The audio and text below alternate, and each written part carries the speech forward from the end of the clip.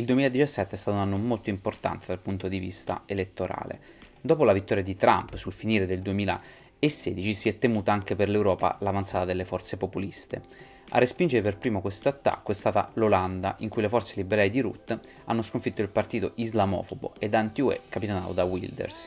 Ma la vittoria non è stata netta. Il Partito per la Libertà si è consacrato come secondo nella corsa elettorale, lasciando in molti il timore di un nuovo slancio per i movimenti anti-europeisti.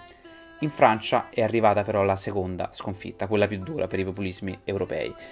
Il Front National, che con il suo fondatore strizzava l'occhio ai movimenti nazifascisti del Novecento, ha subito una sconfitta veramente bruciante. Marine Le Pen è stata distrutta al secondo turno dal candidato di En Marche, Macron, che ha anche conquistato la maggioranza assoluta dell'Assemblea nazionale. In questo quadro si inseriscono le elezioni del 24 settembre in Germania.